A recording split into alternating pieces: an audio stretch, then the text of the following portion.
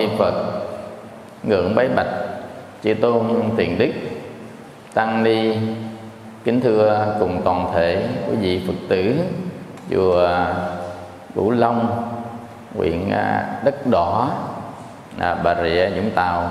Hôm nay à, thì có duyên lành ban tổ chức có mời quý thầy của ban hoàng pháp trung ương đến đây nhân cái ngày tu an lạc của chùa mình ngày và rất là quan hỷ khi thấy trời mưa như thế này mà quý vị đi dự à, đông đủ như thế này xin à, tán thán một chàng pháo tay trước à.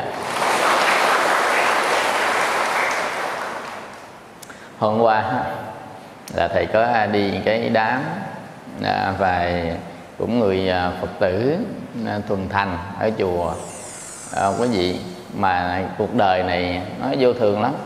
Mới thấy đó à, rồi cái nghe cái à, đi về với phật rồi. À, quý vị thấy là mới có à, đi chùa còn phá tu gì đó. Rồi đầu hay lên cái đi à, bệnh viện à, siêu âm. Cho nên là à, ung thư gan giai đoạn chó cái hai tuần sau cái về với phật. Đơn giản đó. À, có gì còn tỉnh bơ gì đó. Quý thấy không? Cái cuộc sống nó không phải là luôn luôn lúc nào mình cũng thấy nó đẹp nó xinh nó im điềm trôi qua như dòng sông thơ mộng đâu. Mà cuộc sống nó đầy những cái cạm bẫy à, của cuộc đời. Từ á, cái việc á, là bệnh tật từ á, là cái việc nghiệp ác từ cái việc là quan gia trái chủ trừ từ á, cái việc á, là chúng ta phải à, gánh trong thân phận của con người nó vô thường có nhiều cái mà chúng ta không có lường được trước. Nên một cái người á, sống ở trên thế gian này á, về trí tuệ thông minh sáng suốt á, thì à, đức phật dạy là chúng ta tương đương ngang hàng với chư thiên.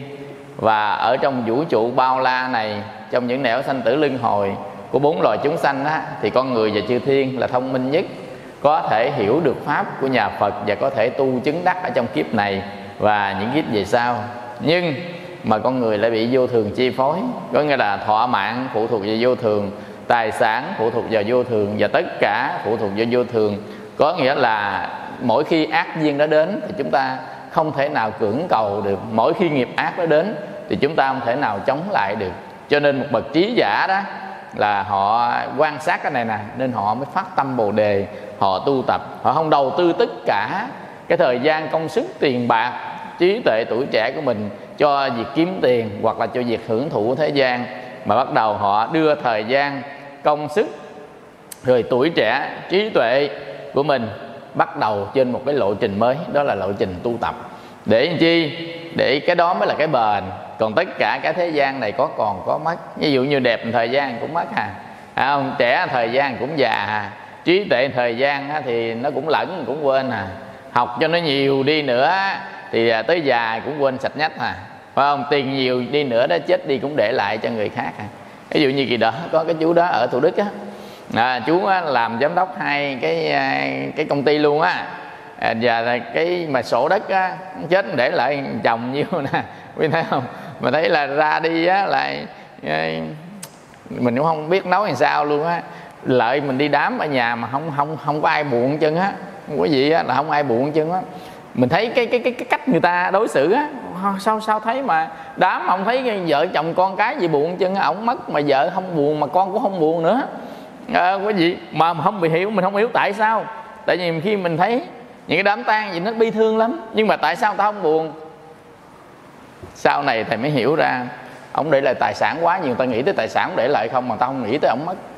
À, quý vị cái đó là một sự thật đó cho nên nó khi mà tiếp khách là nó vui còn khi chụp hình còn giơ tay lên chụp tôi nữa là sao? Ủa ờ, đám ta khóc rồi dữ lắm mà sao mà đám này không thấy khóc chứ? Mình tính đâu á là à, người ta sau đó mình không biết. Nhưng mà sau đó mình mới nghiên cứu ra ồ để lại tài sản quá nhiều chắc lúc đó người ta nghĩ tới cái tài sản là chia đứa này như đứa kia nhiêu đó. Cái đấy nỗi buồn nó phôi pha nó mất rồi. Giống hệt như mình buồn quá người ta cho mình nắm tiền xanh lè tái lét cái mình vui vậy đó. Tiền lè tái lét tờ 500 á thầy gọi là tờ xanh lè tái lét á đó đưa cái 500 nguyên nắm này này cái mình vui liền phải không? Thì đây cũng vậy nghĩ tới nguyên chồng sổ đỏ nghĩ tới nguyên cái biệt thự nghĩ tới cái gì đó lúc đó sao nào cái nỗi buồn đi đâu mất hết rồi hiểu không? À, lúc mà nói mình nói chứ nhầm khi thấy ổng còn à, sống sống chứ chưa chắc ổng cho. Nhưng mà chết là cho thiệt đó tại vì luật mà lực người ta xử thì là phải chia đúng không? Là thừa kế chết là cho thiệt sống là cho giả sống rồi chị cho hứa chị chứ, bữa sau rút lại mày quậy ta quá tao không cho. Hiểu không? Còn mà chết rồi là cho chắc chắn rồi, chết rồi là con chia chia hết, đâu có đứa nào quậy không quậy gì cũng phải chia. Chứ lực người ta đâu có nói quậy không quậy gì đâu, quậy không quậy là chuyện gia đình. Còn luật pháp con là chia à. À do đó là chết là chia thiệt, mà sống là chia giả. Hiểu không? Cho nên đó là khi mà mình xin tiền mà lúc còn sống á, hên xui may rủi mà lúc chết là xin được liền đó. Nghĩa là người ta chia, ai cũng có, con nào cũng có, đúng không? Cho nên mình thấy á cái à, cuộc đời có thì nó có đó nhưng mà nó không có bền chắc bền lâu đối với mình. Cho nên bậc trí giả đó là người ta suy nghĩ điều đó. Cho nên à, vì à, lẽ đó và à, sáng hôm nay thầy à, sẽ chia sẻ cho toàn thể quý vị phật tử với cái à, đề tài à, giật mình tỉnh giấc lo tu. Quý vị có nghe câu thơ không? Muôn kiếp sanh linh giật mình tỉnh mộng. Lời nam mô sám hối ngút ngàn sao? Tiếng chuông ngân qua bệ thẩm dạt vào chừng bừng tỉnh mới thấy một màu tan tóc. Cho nên thái tử xì đặt ta đã giả từ hoàng tộc. Vào rừng tàn cũng được mà thôi sáu năm thanh tịnh, ngài ngồi, bỏ đường vua chúa, bỏ chiếc ngôi ngay vàng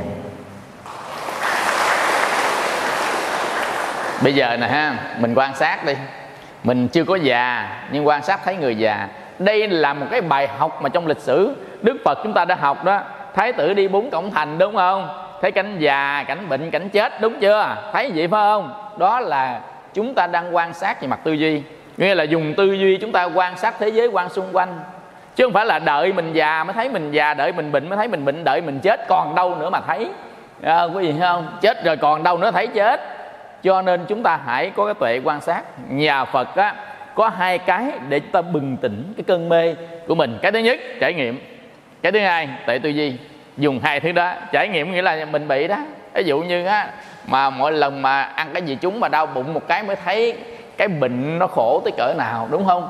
Hoặc là ai đi lên mà bàn mổ á à, đi lên bàn mổ đó vô bàn mổ bắt đầu nó gần chụp thuốc mê đó nó phủ một cái giải trắng giải trắng ta sợ muốn chết một lúc đó nó ông phủ giải trắng không mà rồi đưa ra phòng hậu hậu phẫu cũng là trắng tươi hết trơn à. Trời ơi nhìn vô trắng một cái một à, mình cứ nghĩ tới một chiếc xe trắng một chiều một màn xương trắng rồi trời mưa trắng xóa một chiếc khăn trắng một cái bộ đồ trắng. Rồi lúc đó hai con ngựa trắng kéo một cái cái xe màu trắng. Rồi còn là vậy không? Là thua rồi đó.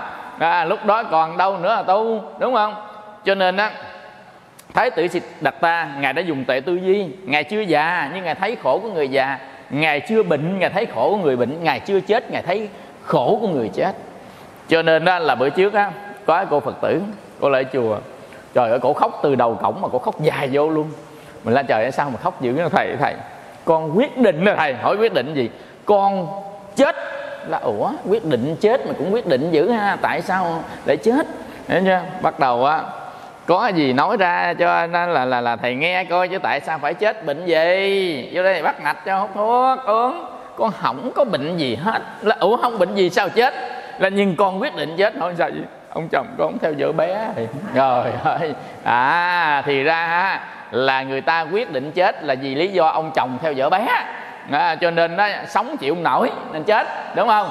Là đúng rồi. Bắt đầu á thầy thấy cũng tội nghiệp hỏi hôm nay nhiêu tuổi em nay 32 tuổi rồi. Không? là 32 tuổi còn trẻ lắm. Đó, ai sanh ra thân thể của mình phải cha mẹ sanh không? Ông chồng đâu có sanh đâu. Mình giết chết nó là giết chết của cha mẹ mình chứ đâu phải giết chết của ông chồng đúng không?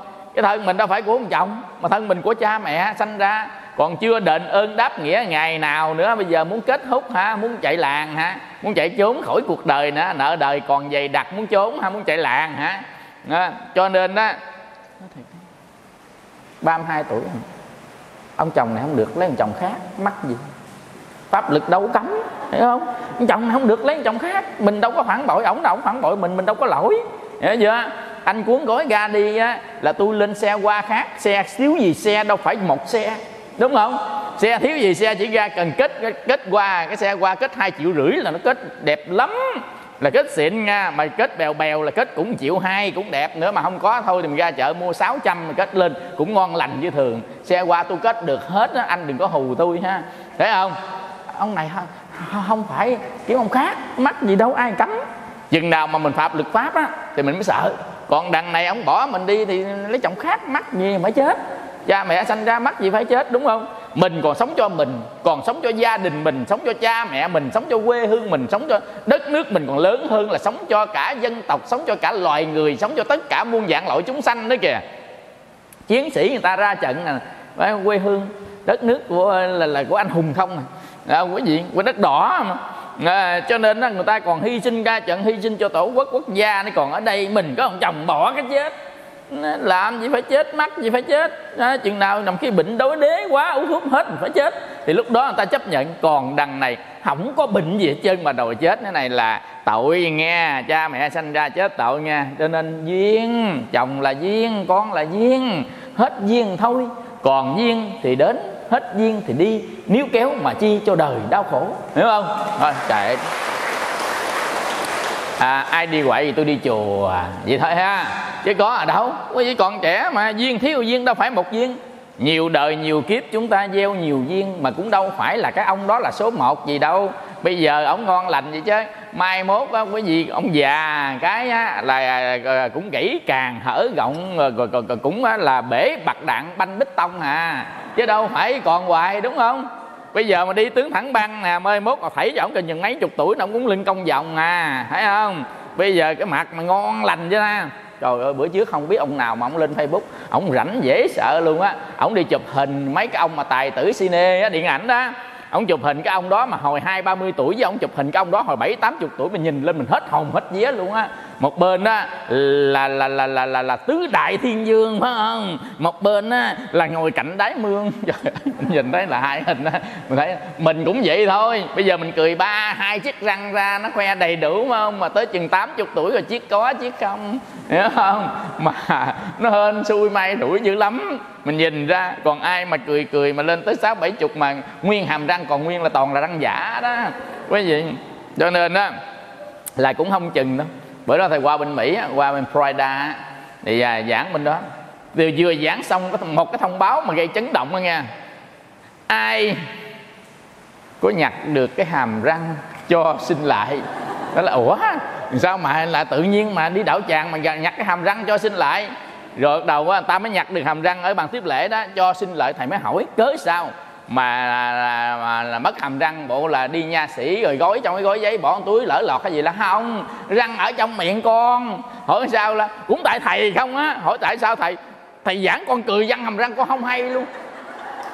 Nên cái này lần đầu tiên mới thấy cái này gọi là kỷ lục ghi nét à nghe. Răng hàm răng mà không hay. Chứ bữa trước á, cái vụ mà mửa răng hàm răng là có nha. Cái ông kia ở cạnh nhà thầy đó sáng sớm thấy ông nhảy xuống ống cống mà giác sáng trời lạnh gần chết luôn mà ông hụt hụt hụt với ông cống á. Hỏi ông làm gì mà sáng sớm ông ông ông, ông mò gì ông cống là hàm răng thầy ơi. Hỏi là răng sao? Hôm con nhậu xỉn quá về con mửa đây là sáng sớm không thấy hàm răng là con biết chắc nó lọt dưới này rồi. Ông nhảy xuống ông mò hồi lên nguyên cái hàm răng. Trời là trời. Cho nên quý vị cuộc đời mà đâu có gì còn hoài tới răng mình cũng không ở với mình nữa cuộc gì đợi gì còn hoài.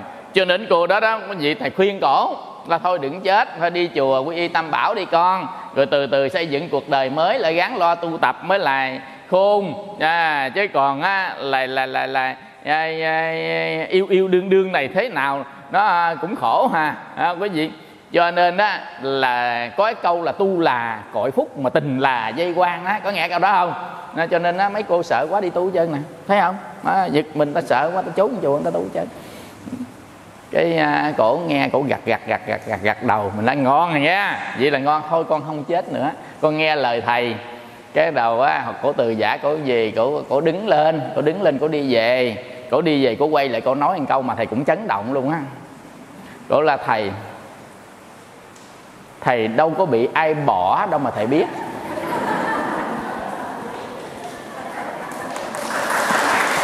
Đi ra về còn vết một câu mà lại nữa mình nãy giờ mình khuyên cổ là thôi này thôi nọ thôi kia đó, đi ra về ngon lành mình tính đâu bữa nay là là là mình thiết pháp thành công rồi nha.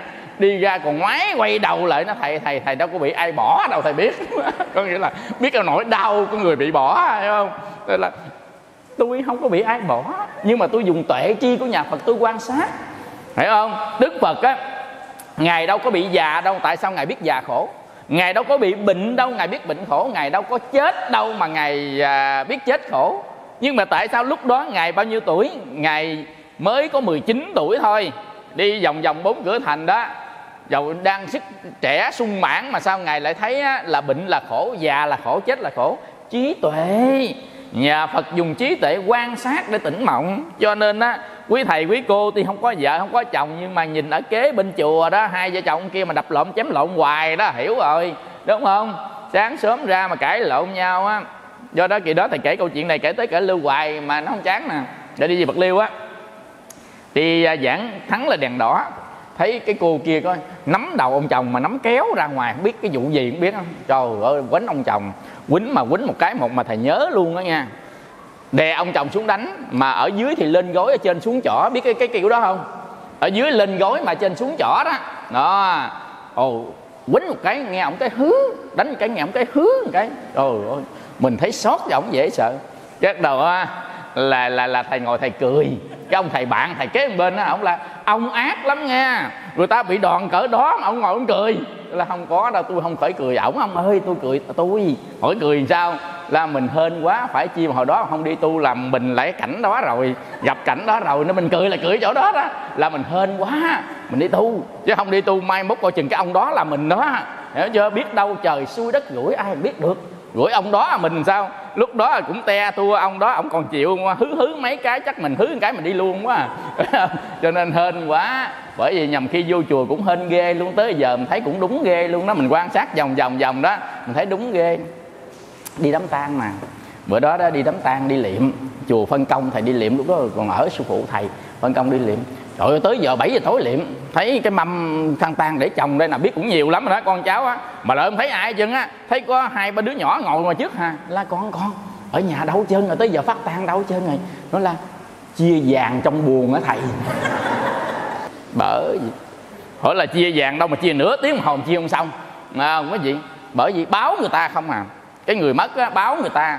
Mua vàng á thì người ta mua cùng một loại đi. Nào vàng 18 vàng 24 hai loại khác nhau nè. Còn mua loại chỉ chỉ rưỡi hai chỉ. Mua đọc cái kiểu đó đó. Chứ phải chi một loại nào một loại thôi 24 24 hết đổi ra hết. Chỉ chỉ hết cho nó quăng cho nó dễ như chi bài vậy đó. Còn đằng này nó quy thành tiền. 18 khác 24 khác nó quy thành tiền. Nó chia ra nó chia nó ngồi nó chia năm sáu đứa nó chia. Chia muốn chết luôn. Bởi vì mà toàn là dân học đại học kế toán rồi ra không mà chia không nổi vàng đó có gì thấy không? Vì vàng đâu mà chỉ gửi 5 phân rồi hai chỉ tùm lum tùm la rồi 14 rồi vàng à, vàng 18 rồi vàng 24 vàng SGC nhiều loại ra chia nó đâu có động cho nên mà để nguyên cái ô của lợi nè. Bởi vì á người nào mà có mua vàng á thầy đề nghị mua một loại thôi. 18 là 18, 24 24 còn sắm loại 5 phân là 5 phân cho nó dễ chia. Chứ còn gì đâu một chỉ rồi chỉ gửi rồi gì tùm lum la chia muốn chết luôn mà chứ không có điều được. Tới giờ liệm luôn cũng không thấy ai luôn thầy nói là bây giờ á vô chổng kêu ra hỏi ra liệm không? Không liệm tôi về. Thấy thôi đau thương không? À, quý vị cho nên mình gán làm nữa đi mình phải giật mình mình phải quan sát xung quanh cái thế giới. Đừng có trách ai hết, trách mình tại sao là số phận của con người? Mình đó sinh ra số phận con người, cái hên của mình đó là được trí tuệ thông minh sáng suốt. Cái xui của mình đó là gì? Là mang kiếp con người nó vô thường, mang kiếp con người mạng căng nó ngắn, mang kiếp con người á, là bị quan gia trái chủ, mang kiếp con người là phải nợ nần người ta trả. Nhằm khi có nhiều người á, quý vị cả đời đi làm mà nuôi có người một à nuôi người ta không à hoặc là nuôi nhiều người trong gia đình ở dưới gần chùa thầy nha vô trong cái chợ. Thì ở đó nhà 11 người có một người đi làm một còn mấy người kia đi chơi không? Mà về mua gạo mua thóc nhà muốn chết luôn bây giờ cổ bệnh. Cổ bệnh cổ lại à, phòng thuốc cổ khám bệnh. Mà cổ khóc dữ lắm cổ la không biết con sanh ra cái nghiệp gì. Thầy ơi con lo nhỏ tới lớn một mình làm không có chồng bốn mấy tuổi luôn không có miếng chồng nào. Chân tối ngày đi làm không có gặp ông nào đâu. À, mà có nghe chưa? Rồi bây giờ á là nuôi cha mẹ nuôi anh em toàn là đi nhậu đâu không ha quý vị mà nuôi 11 người. Một người đi làm nuôi 11 người. Mình tới giờ bệnh là mà bệnh cũng còn lo không dám nghỉ. Nghĩ sao? Không đủ, đủ tiền để lo cho gia đình tiền điện tiền nước tiền này tiền kia. Thì là bỏ đi tự người ta sống à. La thầy ơi thầy không sống nổi thầy không ai biết làm gì chứ sống nổi con gán làm. Để lại là ờ, làm đi mai mốt tắt thở rồi á thì bây giờ ai làm nữa? Quý vị thấy chưa? Nhưng mà tại sao? Người ta phải làm từ nhỏ tới lớn nuôi cho 11 người đó. Thiếu nợ người ta. À, quý vị bắt đầu mà ai mà có túc mạng thông à, lui gì trong quá khứ coi mà giật hụi người ta mà giật hai giây mà giật gần tết không à chứ đâu phải giật bình thường đâu. Giật tháng 7 tháng 8 đỡ cho người ta giật toàn là 28 29 tết không à giật dịch mà lúc mà ta hút hủi chót đó, để ta mua đồ tết cho con cái đó mà chỉ cái chân đó không đó, gọi là trốn cái chân đó không đó. Nên nó theo nó báo quán, nó đòi, trời ơi, nó lên nó đòi. 11 người là 11 giây đó. Chủ hụi một giây, một người giây giây, nó lên đòi đòi đòi đòi đòi mà nợ. Hụi đó, hụi lớn lắm, chắc hụi cũng cỡ mấy trăm triệu trở lên, chứ không phải hụi nhỏ đâu. Cho nên trả mấy chục năm trả không hết. Cho nên thôi gắng trả đi con, đừng có than phải không?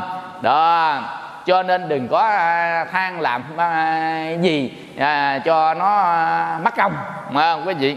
Cho nên đó người ta nói á, là ở trên đời này á sống không có cái gì mà ngoài cái nghiệp hết trơn quý vị. Mình gặp đây cũng là nghiệp à, và mình á lo cho người ta cũng là nghiệp. Người ta trả cho mình cũng là nghiệp đó là nghiệp quả. Mình ở từ gieo nhiều đời nhiều kiếp trước nên mình đừng có than đừng có trách à có trách á là hãy trách mình nè thiếu tu thiếu phước. Trách mình á thiếu tu trách mình thiếu phước trách mình thiếu lòng từ.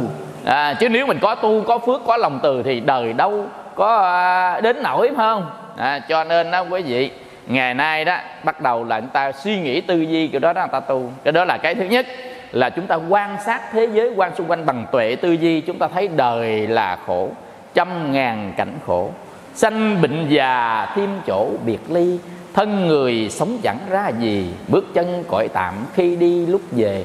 Ai có biết trần mê là khổ? Sao không nhanh chân tìm nơi chỗ nhàn thanh? Ba đường sáu nẻo lộn quanh, tắt hơi rồi lại cam đành phù du. Chi bằng ta học tâm tu, về nơi đất phật thiên thu mới sống còn còn ở nơi đây quý vị lâu lâu một cái là thùng thùng thùng. Ben ò e ó e. Là rồi đó, mà 3 giờ sáng ở dưới quê mình nghe thùng thùng thùng thùng, không dám đi ấy luôn á. Nghe không? Hay người ta nhỏ nhỏ dưới quê ba tháng mình nghe, thùng thùng thùng thùng thùng thùng, nghe sợ ma dễ sợ xa xa có tiếng trống trầu xa xa có tiếng đàn bầu bi thương. Là rồi một người, kẻ đi trước, người đi sau, trước sau gì cũng chết à trước sau gì cũng chỉ là khói mây. Vậy thôi, ham chi nữa. Quý vị làm để sống thôi, còn đầu dành thời gian mình lo tu. Cho nên quan sát thế giới quan xung quanh, mình bắt trước đức phật như thái tử ta đó đi xung quanh thấy người ta già là khổ thấy bệnh là khổ thấy chết là khổ. À, quý vị nhưng mà mình khỏi bệnh không khỏi già khỏi chết không? Có nhiều người sợ bệnh dữ lắm quý vị đi bệnh viện khám uống thuốc mà tấp tấp tấp vô mà cuối cùng nó cũng bệnh à. Có nhiều người sợ già quý vị uống toàn uống xăm hàn quốc không ha? Còn mà sức kem mà sức lên lớp lớp lớp lớp mà tới chừng già nó cũng sệ ha. Hiểu không? Cũng đường hẻm mà cũng chân chim mà. Sức tới cỡ nào? 30 Tết có cô Phật tử đi lại bịt cái mặt á, như là ninja nhìn hai mắt không à trời ơi. Sao mà lại chùa mà làm sao mà khẩu trang? Gì khẩu trang này là lạ lắm à nghe. Cái khẩu trang người ta bình thường đây thôi còn khẩu trang đâu bịt còn hai lỗ mắt chút xíu được ra hỏi là làm sao mà bịt khẩu trang gì mà bịt khẩu trang mà bịt à, cái con gì à, mà bịt dữ dội vậy? Là thầy ơi không có mới căng da mặt à, quý vị hỏi năm nay nhiêu mà còn căng da mặt Tết này 72 Rồi rồi 72 mà căng da mặt Đó là Thầy là 72 mà còn căng da mặt Cổ là tại thầy không biết đó Thầy ơi hỏi sao không biết. Là 72 người ta mới căng chứ 27 đâu có ai căng. 27 cái da mặt nó tự căng này còn gì nữa để căng? Còn 72 nó dùng mới căng. Hiểu không? Nghe có lý Nghe có lý. Mình thì trách cổ là 72 còn gì nữa mà căng. À, cổ là 72 mới căng đó thầy Chứ còn 27 con đâu có căng. Thấy không? Thề luôn 27 không căng 72 mới căng. Mà căng gì đâu mà căng tết là tính căng trong cái dịp tết để đi ăn tết. À, quý vị mà không biết làm sao mà bị tiểu đường. Mà tiểu đường căng da mặt nó không lành. Nó ác là ác ở chỗ đó. Bác sĩ á nó dám ký mà thẩm mỹ dám ký bảo đảm là hai tuần nó lành cổ cho ba tuần luôn đó trước tết ba tuần cổ làm luôn đó. Quý vị mà tới chừng à, 30 tết rồi mà mấy cái vết sẹo nó đỏ đỏ đỏ nó không lành là một đường. Đây nè hai đây nè. Rồi nó không lành tiểu đường mà lành chậm dữ lắm. À, cho nên nó ba tuần rồi nó không lành. Bây giờ ăn tết mà trồng cái khẩu trang vô chừa hai lỗ mắt mà còn mang kiến đen vô nữa chứ. Trời ơi mình nhìn vô một cái mà hết hồn hết vía luôn đó quý vị 72 tuổi. Thấy chưa? Đời nó là khổ vậy đó. Cho nên á quý vị sợ già trước sau nó cũng già ha. Mà sợ chết chừng nào mau chết đó. Cái người nào không sợ chết chứ á cái đề kháng nó tăng. Còn người nào mà sợ chết đề kháng nó giảm. Mà con người ta sống là nhờ đề kháng hết 80% thuốc chỉ có 20% thôi đó. Cho nên mà ai mà muốn khỏe mạnh đó quý vị là tăng đề kháng lên là khỏe mạnh. Tăng đề kháng làm gì? Ăn đủ chất ngủ đủ giấc ăn đúng giờ. À, và cái ăn là tăng đề kháng ngon lành lắm. À, ăn á, là 16 8 là đề kháng tăng giọt nha. Ăn 16 8 nghĩa là sao? Ăn 8 tiếng nghỉ ăn 16 tiếng một ngày có 24 tiếng hồ. Thí dụ à, 8 giờ sáng mình ăn sáng thì chúng ta tới 4 giờ chiều nghỉ ăn. Đó là 8 tiếng hồ. Còn ngoài đó cả không không ăn bất kỳ gì chỉ uống nước thôi thì là sức khỏe number one. Người ta là thí nghiệm rằng nếu mà ai ăn 16 8 á quý vị sống dai hơn mấy người khác cỡ 5 năm. À, người ta thí dụ mà còn nếu mà ai mà thường hay mà nhảy nhảy nhảy nhảy nhảy nhảy, nhảy, á, đi bộ hoặc là nhảy nhảy nhảy nhảy nhảy, nhảy là à, múa hoặc là à, khiêu vũ hoặc là nhảy dây à, hoặc đi bộ đi bộ với nhảy dây. Nếu mà ai mà có đi bộ nhảy dây nữa trái tim mình nó khỏe tăng thêm 5 tuổi nữa hiểu không? Đó. Còn ai mà ngủ đủ giấc không có thức khuya không có coi phim dài tập à, rồi à, không có chơi điện tử à, là ngủ ngoài đêm. Nếu mà lớn tuổi á thì ít gì cũng ngủ 6 tiếng. Còn nhỏ nhỏ vừa vừa 7 tiếng nít 8 tiếng đó là vừa. Hiểu không? Còn mấy ai mà bận rộn quá ít gì cũng 5 tiếng. Có nhiều người ngủ hai ba tiếng đồng hồ à, có gì? Còn thời gian coi phim không à? Đâu ơi luyện phim mà luyện trưởng không? Có gì vô bà bây giờ nó cũng cũng ác dữ lắm. Phim mà toàn là dài tập không à coi muốn chết luôn hết. Nghe là phim mỗi lần á coi có một tập nhớ thì nhớ nhỏ nhỏ nè. Tập 60 phút 60 phút là rồi rồi rồi. Còn bây giờ coi phim tập 140 tập 141 là trời ơi phim gì mà tập 141 coi một ngày một tập coi tới 141 ngày mới hết phim. Coi muốn chết luôn á. Rồi người ta muốn coi nhiều nhiều tập dồn lại đó. Hết tập này tới tập khác. Nhìn lại coi đồng hồ 5 giờ sáng. Rồi ơi rồi ngủ ngủ chút xíu 7 giờ sáng đi làm. Đi làm vô chổng mà ngồi gật gật gật không có làm gì nổi. Đâu tiếc hai mắt mà thụt sâu luôn á. Thầy, thầy soi con mắt ai thụt không? Mắt thuật nè thứ nhất mang mắt kiến nè là coi phim nhiều chơi điện tử nhiều lướt facebook nhiều tiktok nhiều ha là mang mắt kiến. À, hồi xưa mang mắt kiến là học giỏi còn bây giờ mang mắt kiến là chơi điện tử giỏi. Đó ta nhìn vô cái độ mắt kiến là ta biết là cái cấp của chơi điện tử Thấy không? Cấp coi phim. À, nhìn mắt mà ai mà cái độ thục với cái độ đen sao là biết thức khuya tới cỡ nào nó nhìn vô biết liền hiểu không? Cho nên nói cuộc đời của con người ta quý vị, ai cũng già, ai cũng bệnh, ai cũng chết, vậy trơn đó mình quan sát. Cho đến khi mà chúng ta thật sự là già lên cầu thang không nổi, ông thầy bạn của thầy á, ở dưới miền tây á, ổng cho tu ở dưới lầu một á, chùa ổng tu ở dưới từng trệt chứ, thì 300 người chùa chật quá, ổng mới quy động ông cất lên cái chùa, lên lầu một, để tu lầu một giống mình đây nè. Tu sao mà năm sau còn có ba chục người à? Tại đạo tràng toàn người già leo lầu leo không nổi là muốn làm muốn tu trên lầu quá thì ít gì vẫn cũng phải có thang máy hoặc là thang bộ nhưng mà dàn toilet phải để luôn trên lầu ăn luôn trên lầu nghỉ trưa trên lầu còn đằng này không lên lầu tu đi xuống toilet xuống dưới hiểu không ăn đi xuống dưới chỉ có nghĩ là nghĩ được tại chỗ thôi à đi lên đi xuống á chịu không nổi già mà gọi là là là, là, là xe mà nó quanh liền á đúng không xe nó quanh quanh quanh quanh liền nha bể bạc đạn nha lỏng bích tông nha rồi gãy cốt nữa.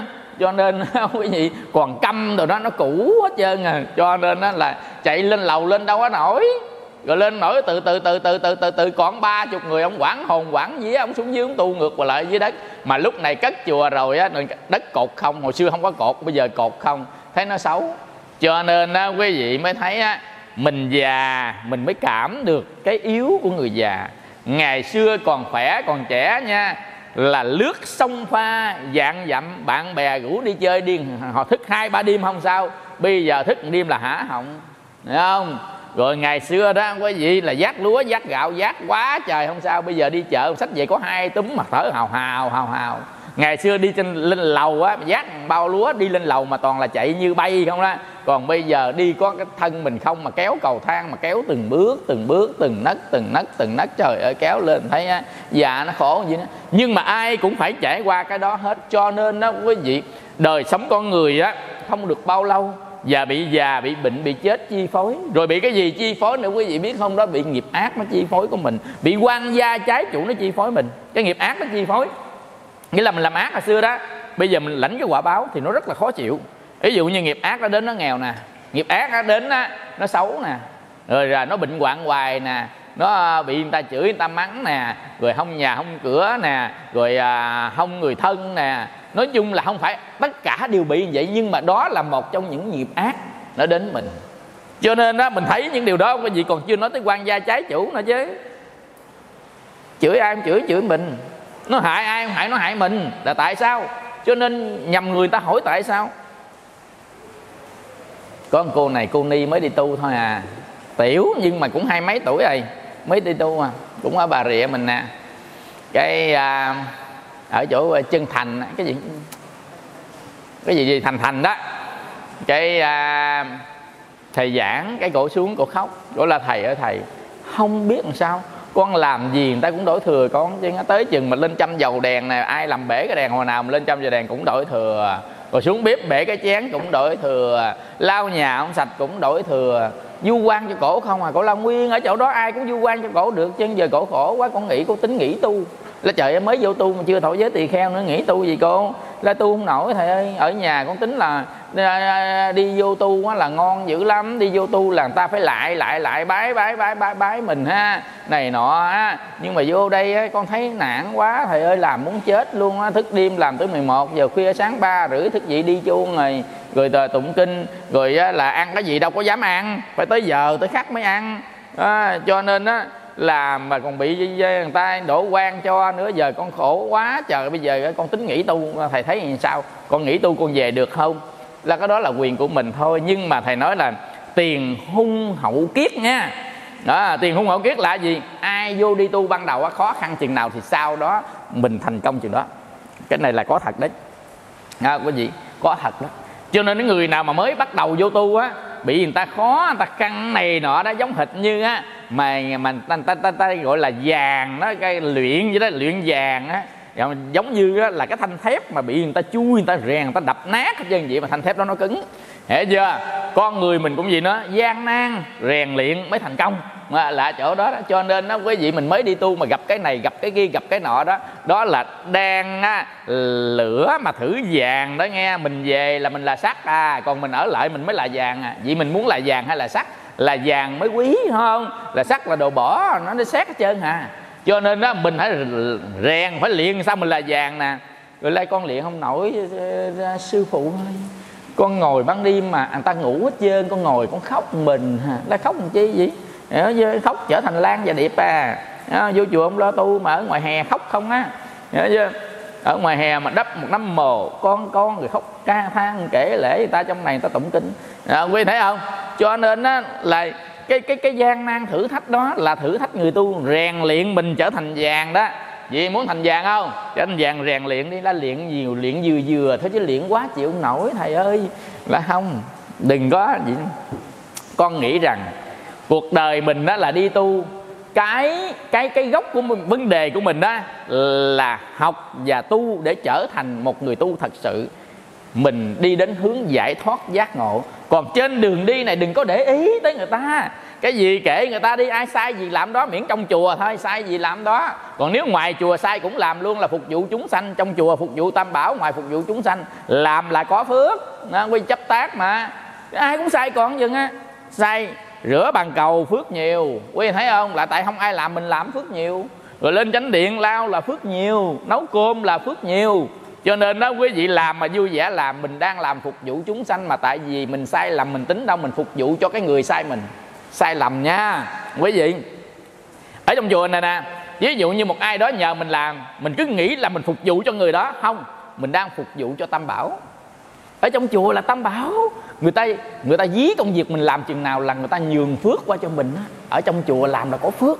Hiểu không? Cho nên người ta dí mình làm càng nhiều chừng nào phước nó tăng chừng độ phước chừng đó. Cái đó là sự thật đó quý vị cho nên ở trong chùa mà ai làm nhiều, cư sĩ vô công quả nhiều ha, hoặc là trong chùa siêng năng làm người đó lớn thành công hết, nó phước báo người ta nhiều, giống hệt như độn vàng mà đi mà. Đó quý vị mà người ta không thấy. Người ta chua xót đau thương người ta ở không không à mà tự nhiên có một mình mình làm mà. Tuổi thân tuổi thân bị ăn hiếp.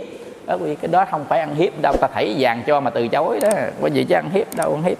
Cho nên hồi thầy đi tu á ai sai gì cũng làm. Mình nghĩ á, tôi tu á, là để tôi đi đến giải thoát giác ngộ. Chứ đâu phải là tôi tôi tôi tu vô đây tôi ăn thua với mọi người.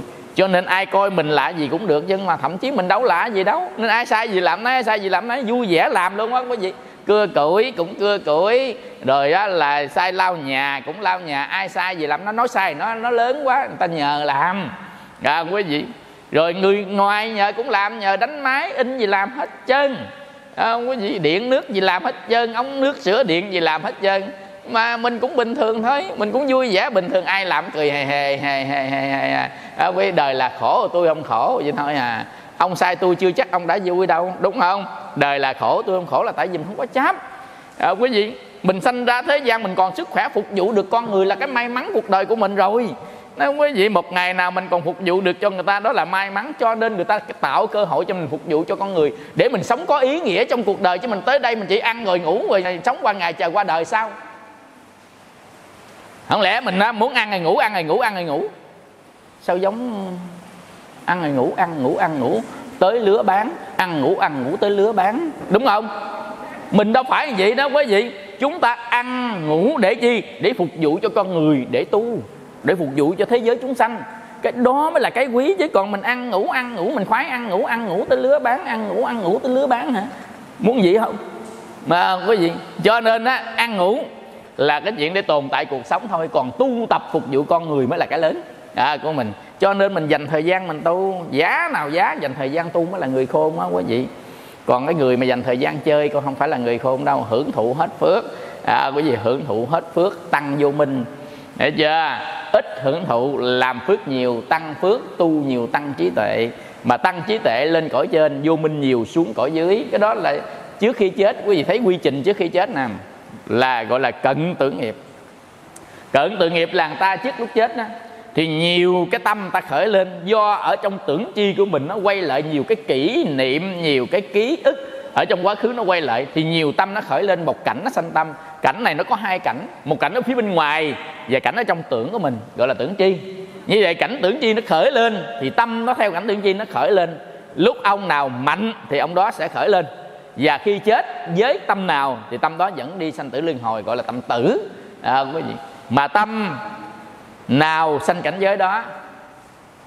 Thưa thầy ví dụ như con ghen con ghét con nổi sân hoài con nổi khùng hoài sanh cảnh giới nào thầy? Thưa cảnh giới địa ngục. Địa ngục nó có 18 tầng. Trong một tầng có nhiều ngục khác nhau. Mình coi một liên sám pháp mình coi kinh địa tạng đi rồi coi á, là du lan bồn đi mới thấy cảnh địa ngục ha. Nhiều cảnh địa ngục khác nhau. Cảnh địa ngục là gì?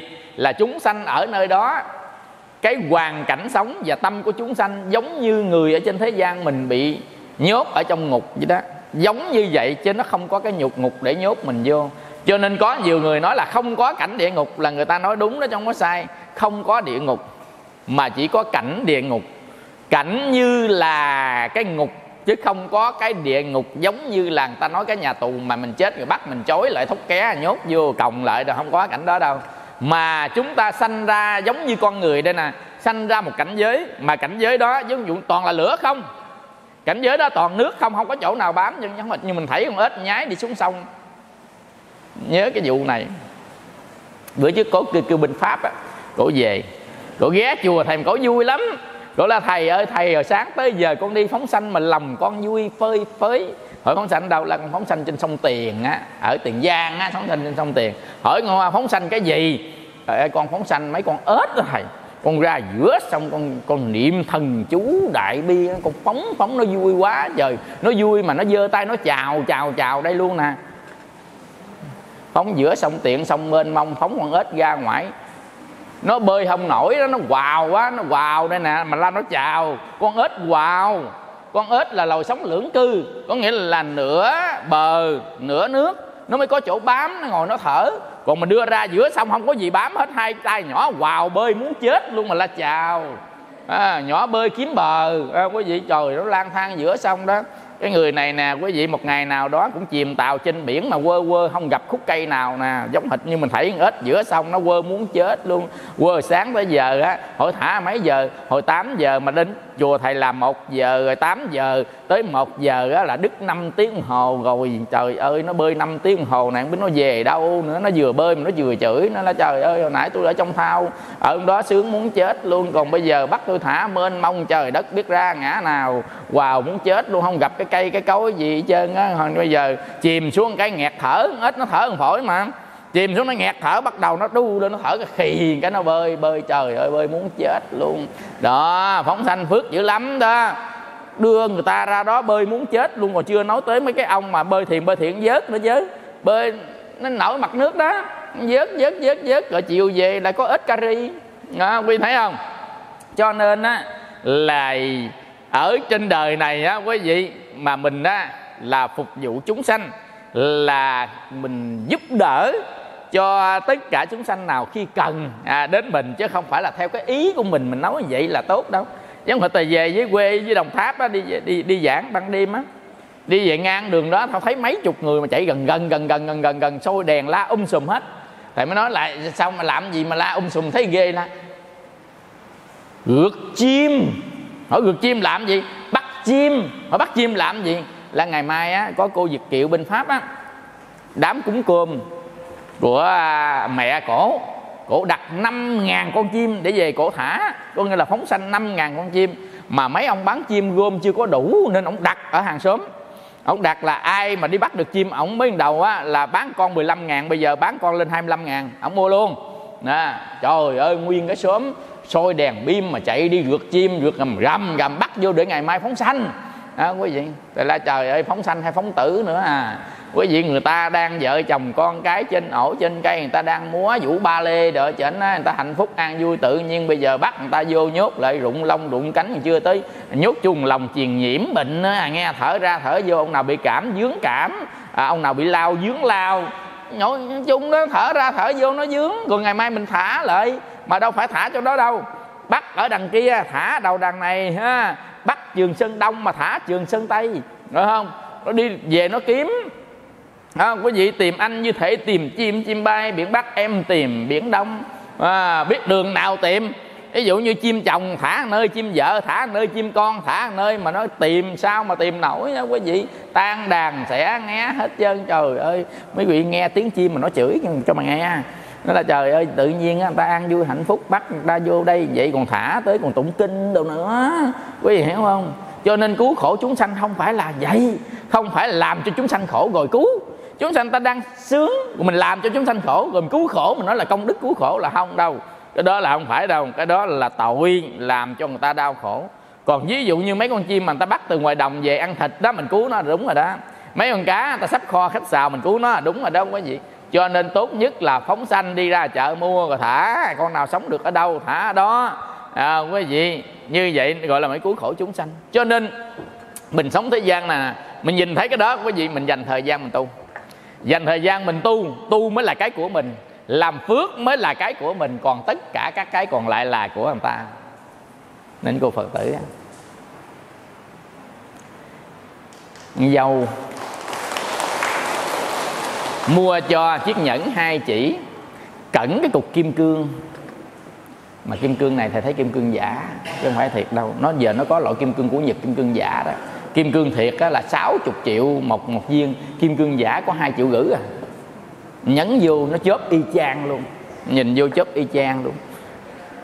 Dâu tặng cái chiếc nhẫn. Bữa đầu mới đi vô thỉnh sư. Thỉnh sư mà sao thấy cái tay cổ quát quát đây nè. Thầy lan cái tay có tật hay gì cô? Không. Con dâu nó mới tặng chiếc nhẫn nên nó cộm con đeo ở đây nè. Khoe. Khoe chiếc nhẫn ta chấp tay chấp kiểu này đi, không chấp chấp kiểu này méo sẹo đây nè. Ta là trời ơi, sao chấp tay chỉnh tỉnh sư mà chấp méo sẹo vậy? Dâu nó mới mới tặng cho chiếc nhẫn. Hai chỉ nhấn kim cương chớp chớp. Thầy thấy không? Thầy đẹp không? Đẹp. Nhưng mà đó là của người ta, không phải của mình. Nó tặng cho con rồi, thầy. Tặng con của con. Là thôi, của người ta, mượn đeo, nói mượn đeo đi. Là không phải của con. Hỏi dâu nào tặng lan dâu út. Đúng con dâu út nó tặng là của người ta đó. Biết sao không? Chết đi là của nó. Con dâu út nó tặng đồ á, là mình phải chấm dấu hỏi nha. Nó tặng đồ cho mình đeo là chẳng qua nó gửi mình giữ dùm cái lúc liệm á, nó lấy lại hết trơn. Cái lúc liệm á, nó lấy lại hết trơn. Cho nên con dâu út mà nó tặng đồ cái gì đừng có mừng nó giữ nó sợ ăn trộm lấy. Má cho má giữ là chắc ăn hà. Tại má ne ne ne ne má đâu có dám hở. Cho nên đâu có sợ bị lấy. Còn nó đi làm đi nấy này nọ đây có nhiêu vàng nó cho má đeo hết vậy đó ha. Tới chừng mà liệm á đâu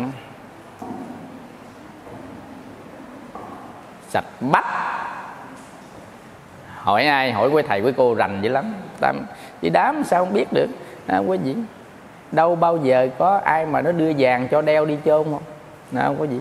Trong tất cả các đồ đeo nào quý vị mà đem theo á, chỉ có một cái nó không lấy thôi, đó là chuỗi thôi. Nó kỵ chuỗi nha. Không có đứa nào nó lấy sau chuỗi nào lợi chứ quý vị. Kỵ. Cho nên quý vị hãy đeo chuỗi giùm thầy một cái đi. Đừng có đeo vàng, bạc, kim, cương, nó lấy là sạch bách chứ à. Chuỗi nó cho đem theo. Thầy để ý mà, để ý từng ly từng chút mà à, quý vị không lấy sau chuỗi nào hết. Thậm chí á, chuỗi bồ đề rồi à, chuỗi à, là hột à, kim cương hột kim cương kim cang hoặc kim cương hột kim cang ha. Rồi à, chuỗi bồ đề ha. Rồi chuỗi quỷ kiếm sầu ha. Rồi nó chuỗi này chuỗi kia chuỗi nọ đó. Nó để y chang cho đem theo. Cho nên thầy chưa thấy đứa con nào mà lột chuỗi hết á. Mà lột vàng thì có chứ lột chuỗi gì không. Cho nên ngộ chưa? Ngộ ra dứt phát không đeo vàng đeo chuỗi cho nó chắc ăn. Đi ra đường mấy mấy cái ông giật đồ cũng không bao giờ giật chuỗi đâu quý vị bữa hổm cô phật tử đi lại chùa đi cà nhắc cà nhắc mà băng cái chân nè. Thầy hỏi là sao băng cái chân dữ lắm là thầy thầy bị nó giật cộng dây chuyền. Đó, trời ơi bực giật cộng cộng dây chuyền mà sao à, băng cái chân? Là bữa trước á, là nghe nói là là là sợ bị giật mua vàng giả đeo cũng bị giật nó vàng giả nó cũng bị giật nữa đó, thầy. Hỏi làm sao vậy? Bữa đó con đi ra ngoài ngang công viên á đi tập thể dục. Nó đi ngang dứt công viên cái băng cái giật cũng chạy đi luôn. Đâu có sao đâu à, không có gì. Vậy mà nó quay qua lại nó xô một cái mới té trúng cái chân nè. Nó là ờ, tướng đẹp đeo vàng giả. Cái vụ vàng giả mới bị băng cái chân đó chứ mà vàng thiệt nó chạy luôn rồi. Còn mà vàng giả nó quay lại nó giục trả vàng giả là mà nó xô một cái nữa té làm bể cái đầu gối. À, băng cái đầu gối cho nên thầy mới nói là có đeo, hãy đeo vàng thiệt, đừng có đeo vàng giả. Đeo vàng giả là nó giật xong nó quay lại nó còn xô mà nó xô nó còn chửi nữa. Còn vàng thiệt nó giật đi luôn. Mà cho nên nó đi ra đường làm ơn, làm phước, đeo phải đeo vàng thiệt dùm một cái. Hiểu chưa? Lỡ nó có giật nó đi luôn, nó không quay là nó tát tát nó còn xô xô nữa. Hiểu chưa? Còn nên đó quý vị là đeo đeo vàng thiệt không đeo vàng giả. Nhưng mà vàng thiệt nó bị giật đeo làm chi? Cho nên á, ở cổ đóng sâu chuỗi à, hai tay đóng hai sâu rồi hai cái gót giò đóng hai sâu nữa là rồi luôn. Nó nhìn vô nó thấy chuỗi nó sợ muốn chết luôn. Mấy mấy ăn cướp nó nhìn chuỗi á nó sợ lắm. Nó không có nhìn nhìn vàng nó mê nhìn chuỗi nó sợ. Cho nên á mỗi khi mà nó lợi mà nó tấp tấp vô mình mình mình dơ sau chuỗi lên. Ai di đà phật ai di đà phật giật đi con giật đi con giật đi con. Không có con nào nó dám giật hết trơn hiểu không? Cho nên còn cầu nữa à cầu cho giật nha. Là thầy á thầy thầy à, mang cái túi đó với thầy đi tụng kinh. Thầy mang cái túi cái à, thầy treo ngoài chiếc xe đó. Cái à, ông kia là thầy thầy thầy treo chiếc xe nhưng mấy nó nó giật cái túi thầy sao thầy? Thì là toàn là chuông mỏ với cuốn kinh không có ba món à chuông mỏ với kinh nè giật đi con. Để chưa để mà trước giật đi con. Giật cái một là trả lại tao không lấy à nghe nó giật cái là dính á. Ông nào giật cái là dính á cái chuông cái mỏ à, chuông với mỏ với sâu chuỗi giật cái dính á. Để mà chiếc xe nó nhá nhá nhá nó gì đó đó, đó. giật đi con. À, giật cái mà lại chùa mà năn nỉ lại cũng không lấy lại. À, chuỗi đã cho ai lấy lại bao giờ? À, chuông mỏ đã cho ai lấy lại bao giờ mà lỡ giật cái cho dính luôn đó, đó không? cho nên đâu nào dám giật đâu phải không? Cho nên ở trong cuộc đời này á quý vị mình quan sát đi mình thấy gì dành thời gian ra tu. Ngày á 24 tiếng đồng hồ ít gì mình cũng phải tu nhiều tiếng chứ đừng có tu có chút xíu có nhiều người lên sáng cầm cây nhang xá ba xá chiều cầm cây nhang xá ba xá vậy xong. Như tu vậy chưa có được cái gì đâu. Không có gì. Ít nhất đó nha là tu một ngày. Nếu phật tử thường thành á, là tu ngày bốn thời. Còn nếu mà phật tử bình thường tu ngày hai thời vì thời nào thời nào thầy? Trước khi đi ngủ một thời trên giường trước khi đi ngủ nửa tiếng lấy nửa tiếng ra tu nha. Khi thức dậy á thời trên giường bước trước khi bước xuống giường tu nửa tiếng, ngồi trên giường nha. Sáng sớm nếu có thời gian, lên bàn phật. Ngon lành cặm nhang, thắp nhang, rồi tu thời chân bàn phật. Chiều đi làm về, tu thời bằng phật là bốn thời, đó là phật tử thường thành. Còn nếu bình thường mình á, ít gì có hai thời ngồi trên giường. Niệm phật thôi cũng được, nha. Sắm cái sau chuỗi mang đầu giường nè. Đó, mang đầu giường ra để xuống ngồi vậy thưa thầy chưa xúc miệng niệm phật được không? Niệm lầm thầm được không sao hết á. Ngồi trên giường niệm luôn không sao chứ. Thật ra nguyên cái thân mình cũng đâu có sạch sẽ gì đâu. Mình là cõi trọng trượt mà nên ta gọi là trần ai mà. Trần là bụi á ai là buồn á. Trần ai trần trượt trần là bụi á. Trượt là dơ á không? Trần ai trần trượt cõi này cõi trần là cõi bụi.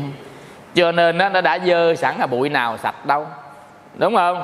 Nó đã dơ sẵn rồi thì thôi ngủ sáng đêm chưa đánh răng cũng đâu có sao. Mà đừng lên bàn phật nha lên bàn phật là phải đánh răng xong mới lên à nha. Còn trên giường mình thì được đó là riêng tư của mình. Còn lên bàn phật phải nghi lễ nghi thức. Phải mặc áo dài tay hoặc là áo chàng hoặc là áo dài tay lên bàn phật.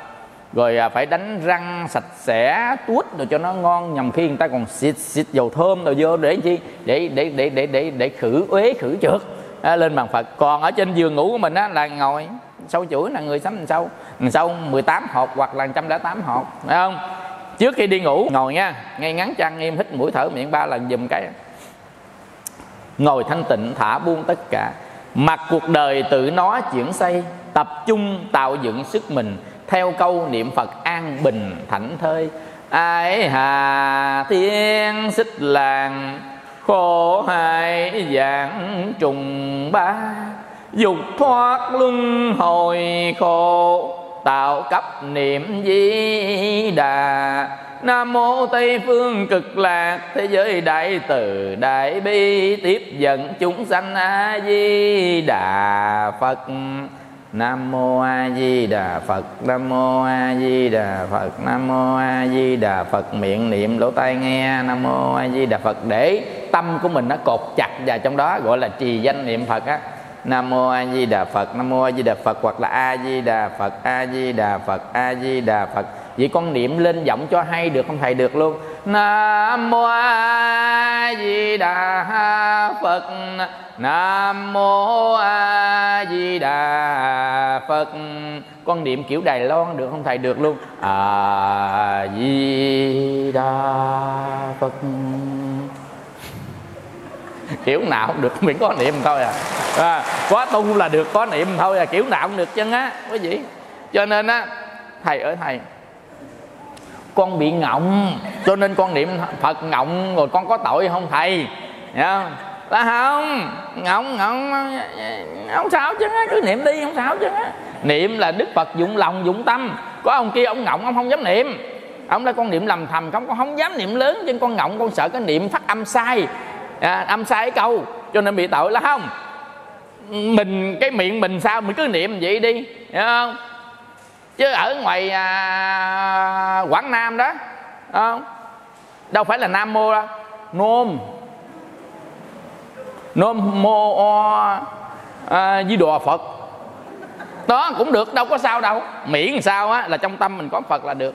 Còn cái từ ở bên ngoài mình thì tùy vào địa phương tùy vào hoàn cảnh còn ông ông kia ông nói ông cà lâm ông niệm phật rồi à, ông nam nam nam nam nam, nam được không? Là không à nghe.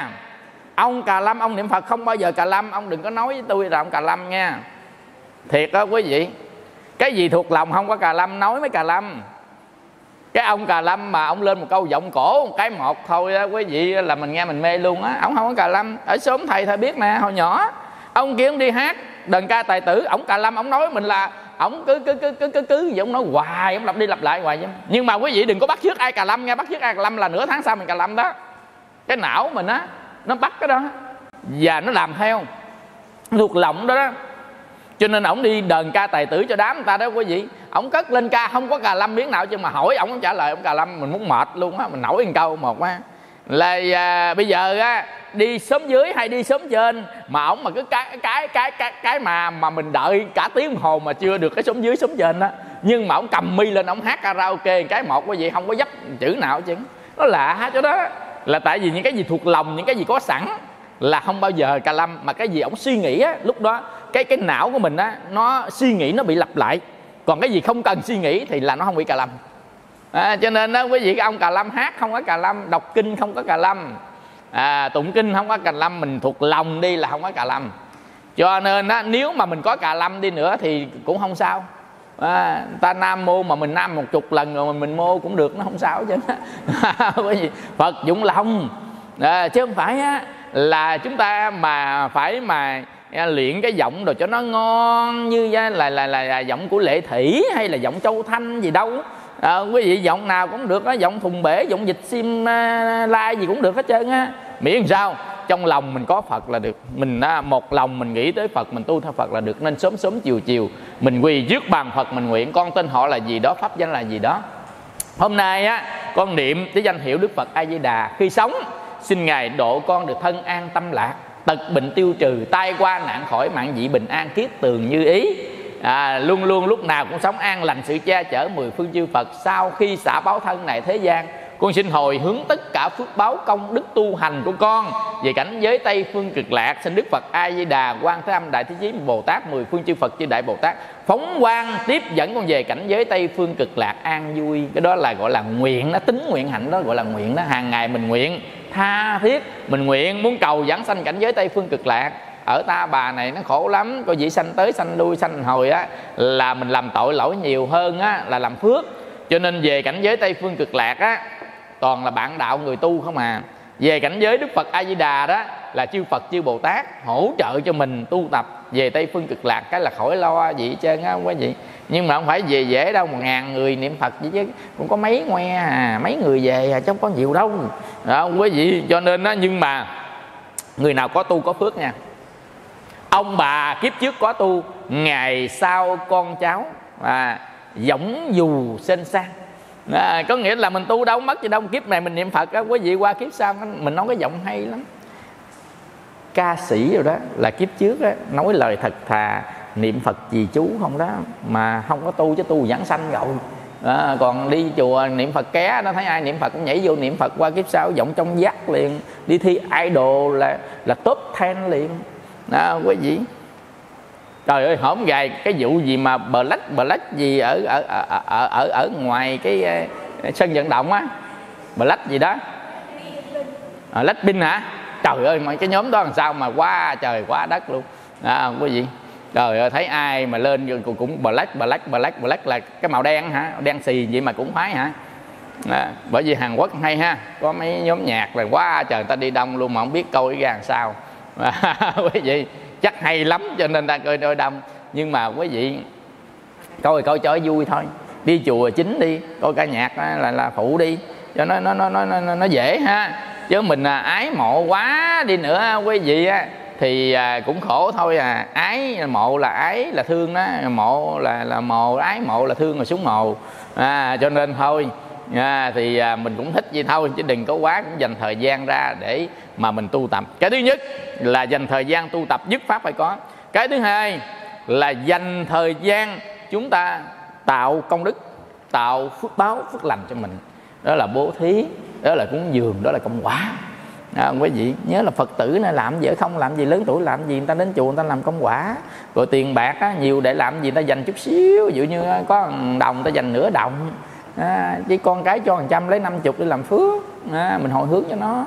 Dân dân. À, quý vị để lớn tuổi rồi thôi tiện tặng chút đi. À, mùa mít mười ổi mùa sậy đây có cao su không? Ở đây có vườn cao su không? Ở đây người ta trồng cái gì? Ở đây thành thị hả? Nó không có trồng gì hả? Ở đây biển hả? À, ở, ở, ở đây biển gì? À ở đây có ai làm nghề biển không? Cũng có phải không? Ừ. ở gần biển gần biển ít trồng đồ hả? Ừ, thôi gì cũng được. À, quý vị thì bây giờ á có à, tiền thì người ta làm phước một tí. Có công á thì người ta công quả một tí. À, quý vị để tạo ra những cái phước báo những cái công đức cho riêng mình. Còn có có tu à, có tu một tí rồi có hồi hướng một tí nhớ hồi hướng nha. Hồi hướng cho ai? Hồi hướng thứ nhất là hồi hướng cho mình trên con đường tu tập cái thứ hai, hồi hướng cho ông bà, cha, mẹ, nhiều đời, nhiều kiếp của mình gọi là của quyền thất tổ. Thứ ba là hồi hướng cho quan gia trái chủ, mình đã từng gieo đau khổ, đau thương người ta trên bước sanh tử luân hồi. Thứ tư là hồi hướng cho tất cả pháp giới chúng sanh. Nhớ không, hồi hướng có bốn cái đối tượng để chúng ta hồi hướng. Thứ nhất là hướng cho mình. Thứ hai, hồi hướng cho ông bà, cha, mẹ của quyền thất tổ. Nhớ không? Rồi thứ ba là ta hồi hướng cho quan gia trái chủ, những người mà mình làm khổ họ đó thứ tư là mà hướng cho tất cả pháp giới chúng sanh. Mình bốn cái hồi hướng đó để mình giải đi quan gia trái chủ ở trong đời. Nha, của mình đó quý vị bắt đầu mình nhẹ từ từ nhẹ từ từ từ từ. Còn ở đời mà gặp cái chuyện này gặp chuyện nọ đó là thử thách thôi. Nó không có gì thử thách cho mình thôi. Cho nên có câu gặp thử thách nhớ kìm tâm khẩu hả quý vị. Gặp thử thách thử thách đó làm nhớ nhẫn nhục cho qua thử thách đó. Tất cả trên đời này ai cũng bị thử thách chứ không bao giờ có ai mà sung bân ở trong cuộc đời này hết ha quý vị. Cho nên á mình á đã nhiều đời nhiều kiếp mình đã làm khổ người ta rồi. Bây giờ người ta làm khổ là mình là đương nhiên nhưng quan trọng là mình có khổ hay không mới là quan trọng. Người ta làm khổ mình với mình tự khổ hai cái nó nó khác nhau. Bây giờ người ta chửi mình là người ta làm khổ mình phải không? Nhưng mà mình con nhà phật mình không khổ. À, quý vị nên con nhà phật á là chỉ có một cái khổ thôi, chứ không có hai cái khổ. Người đời có hai cái khổ, người đời khổ thân và khổ tâm. Con nhà phật chỉ được khổ thân thôi, chứ không được khổ tâm. Khổ thân gì nghèo, bệnh, già, nó khổ thân. Nhưng mà ta chửi người ta mắng hoàn cảnh, không có được khổ tâm. Mình tu, mình xả, tu xả bỏ. Cho nên mỗi khi mà chúng ta gặp cái trống ở trong chùa đó, đánh cái trống đó, là mình nghe cái tiếng trống trống nghĩa là gì? Trống tức là rỗng, là phía trong trống nhà, trống trống là không có gì hết trọng nên cái trống trong chùa, người ta đặt tên cái trống là người ta có cái ý của người ta. Cái trống trống là ở trong ruột, nó không có gì hết. Nó cho nên mình tu tập, mình cũng trống trống không ở trong lòng là không có phiền não trong lòng. Cho nên mỗi nghi khi mà chúng ta nghe tiếng trống trong chùa đó, mình nghe là không không không không không không không không không không còn mình mà ôm thù ôm quán chất chứa trong lòng á mình nghe tiếng trống nó khác nghe tiếng trống là khùng khùng khùng khùng khùng khùng khùng khùng khùng khùng ôm hận không khùng để ý nghe nghe người nào mà giận hờn sân si nghe tiếng trống nó khác. Khùng khùng khùng khùng khùng khùng khùng. Còn người nào á mà không có để gì trong lòng cho ghét gan chi cho bận lòng mình á, nghe tiếng trống là không không không không không bắt nhã, không không không, là không giận, không hờn, không quán trách. Đó, không không không không không. Giống hình như đánh chuông cũng vậy nè. Chuông mình đánh nghe, beng beng beng beng, ha, không phải. Chuông đánh nghe buông buông buông buông buông buông buông buông mới là tu cái mỏ đánh nghe cốc cốc cốc cốc cốc cốc nghe dẫn ốc chứ nè không? Mỏ đánh nghe bỏ bỏ, mỏ bỏ mỏ, bỏ chuông, buông, mỏ, bỏ chống không không không, bỏ, buông bỏ buông bỏ, buông, không không không không, đang nói tới pháp tu pháp khí thiền môn của người ta mà, nghe tầm bậy không à nghe mỏ ghé đánh nghe cốc cốc cốc cốc cốc, đâu phải cứu đâu mà cốc. Đấy mà đánh nghe bỏ bỏ bỏ bỏ bỏ bỏ bỏ gì? Bỏ giận bỏ hờn bỏ ghét bỏ ghen bỏ thù bỏ oán không? À, chuông đánh nghe buông buông buông buông gì? Buông giận buông hờn buông ghét buông ghen à, buông sầu buông hận phải không? Còn chống đánh nghe không không không không buồn không giận không quán trách gì ai hết trơn á. Vậy là tu đó quý vị không? Cho nên á là mỏ sớm chuông chiều tiêu cảnh mộng chống thiền đường dục thúc kẻ tha hướng ngày xưa lạc lối lầm đường, ngày nay trở lại ta nương phật đài. Đời là khổ, trần ai hãy tỉnh. Trở về nhà giải bệnh mê si. Lúc nằm, lúc đứng, lúc đi, trong lòng có phật, vậy thì mới nên. Đời là khổ. Đời là khổ ở bên cửa tử. Hỡi thế trần nam nữ lo tu, trở về trì trí công phu. Trì tâm niệm phật ngục tù được qua. Đời là khổ, kêu ca chi nữa. Cõi ta bà, nhà lửa mà thôi. Thanh trang tư tưởng mà ngồi, trì tâm niệm phật ôi thôi hơn vàng. Không có chồng hả? Là gieo nhân không có nợ người ta. À, không có nợ người ta mày mà mà mà mà muốn nợ không hả? À, bây giờ tiếc không? Tiếc không? Thầy nè có một người bà con bạn gì?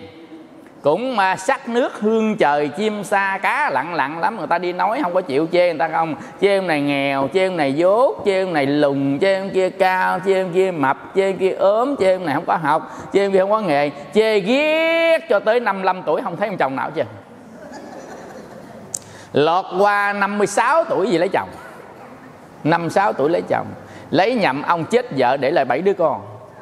Nhậu quậy nữa, trời ơi nó khổ hồi đó đi đạo tràng chúng trưởng luôn. Còn bây giờ nhìn cái tướng một cái mình thấy giống hệt như cái bông hoa mà cầm ở đây mà người ta dục ra ngoài đống gác vậy đó. Nhìn vô một cái mình thấy nó tàn trời ơi nhìn có năm mấy tuổi nhìn tính tám chục không à. Lo bảy đứa con người ta ăn giặt vũ hết đi đậu tràng luôn tối ngày lo có con người ta không à quý vị và quả nuôi tu hú nó đâu có thương mình đâu nó đâu có thương mình mẹ nó nó mới thương chứ đâu phải mẹ nó nó đâu có thương. Nó quý vị lo còn trả tiền cũ, ông muốn chết. Luôn là thầy thầy con biết thiếu nợ gì đó, chắc việc hội việc hợ nợ người ta dữ lắm là kiếp trước làm ác lắm nè bây giờ mới dướng là phải là nhỏ hai mấy tuổi. Ấy được là thầy thầy phải con biết vậy đó hồi năm đó thầy nhớ không? Năm đó mới 16 tuổi người ta nói con đó thầy nhớ không? Tôi lâu quá tôi đâu nhớ đâu. Nghe không?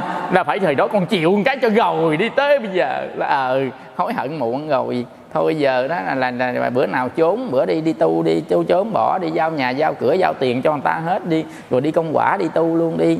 Chứ gọn vợ gì nữa nuôi bảy đứa đó mà con đứa nhỏ xíu đây nè nuôi cỡ đó mà nuôi gì chưa vô mẫu giáo nữa nuôi tới giờ tới bao giờ mà cho hết bảy đứa con mà gọi là con ngang hông đó. Không có gì. Cái bữa trước mà vô niệm phật ngon năm tướng cũng dữ lắm chứ không phải đơn giản đâu. Tướng là cũng là loại hào quang mà chớp chớp nhá nhá luôn tới giờ tắt tắt liệm luôn. Gọi là hào quang tắt liệm luôn nhịn mặt đang thui luôn đang xì luôn. Hào quang tắt liệm. Đó ham em đi. Cho nên bây giờ mà cô á là không có gì chân là không có nợ nợ nặng gì chân á. Thấy không? Thảnh thơi chưa? Đó giàu ra sanh tử thảnh thơi chưa? À, quý vị cho nên á là, là mấy cổ nó là con chỉ dốc hầu gần thầy mãi dầu lên non xuống ngại cũng theo. Dẫu cho cảnh có hiểm nghèo có thầy cầm lái cầm chèo lo chi. Thầy mới nói là nhưng con ơi dễ gì theo được? Quả diễm sơn thầy vượt cũng qua. Con còn nhiều nghiệp chướng ma dễ gì thư thả mà vào ra biển trần? Thôi, chắc chưa rồi, mình còn dùng cơm nữa ha. Rất là cảm ơn những câu hỏi của quý vị phật tử. Nam mô bổn sư thích ca mâu ni phật. Kính bạch trên thượng tòa nhà sơn, chúng con kính nghe. Nếu không có thế tôn, nếu không có diệu pháp, nếu không có tăng đoàn, làm sao con biết được pháp lạc ngày hôm nay? Và ngày hôm nay, chúng con thật vô cùng hạnh phúc. Từng tòa đã thay thế tăng đoàn mang diệu pháp đến cho đạo tràng chúng con bằng những câu chuyện rất là đời thường, bằng những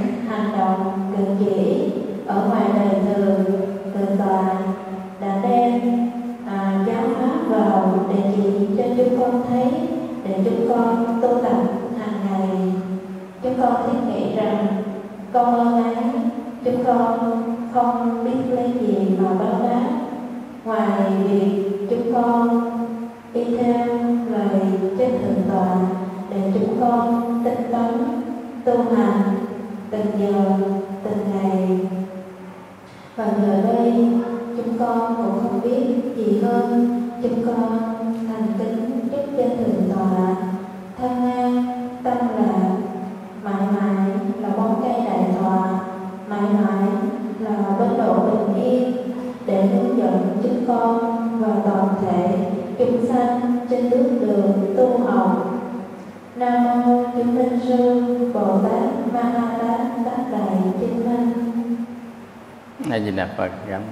của đội chàng.